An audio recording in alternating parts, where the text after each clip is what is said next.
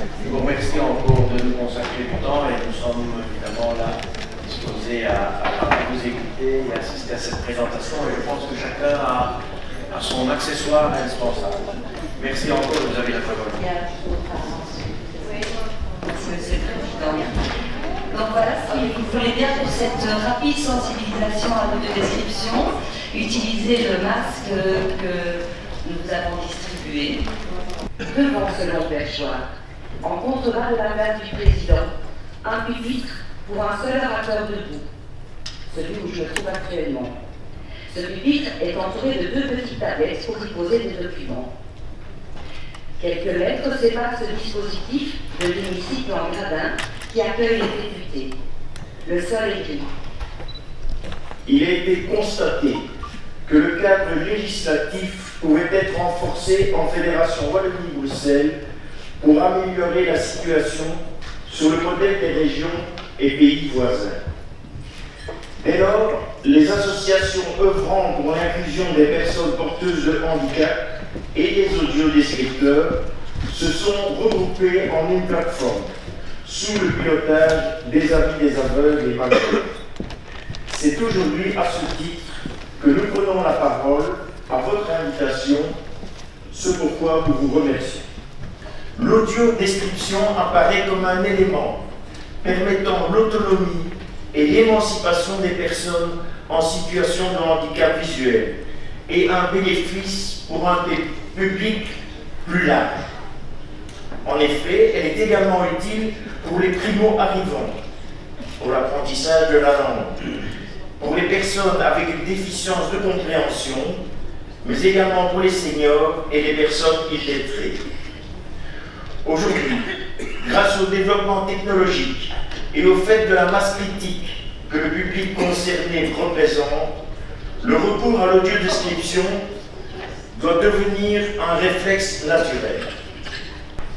Monsieur le Président, Mesdames les députés, Messieurs les députés, au terme de la sensibilisation que vous allez vivre, nous espérons vous avoir convaincu de poursuivre vos démarches législatives. À la veille d'un nouveau contrat de gestion pour la RTBF en 2018, notre appel prend tout son sens, mais pas que. Il vous appartient de faire entrer l'audiodescription dans d'autres domaines de la vie culturelle dont vous avez la compétence. L'invite au passager. Le passager regarde vers le haut ouverture. Le conducteur se vers lui. Allez, fais voir t'es là T'es là, en fait C'était Les Intouchables avec François Cluzet et Omar Sy. Le de description au musée. À l'avant dans le bas du tableau, on suppose un jardin dans des nuances de vert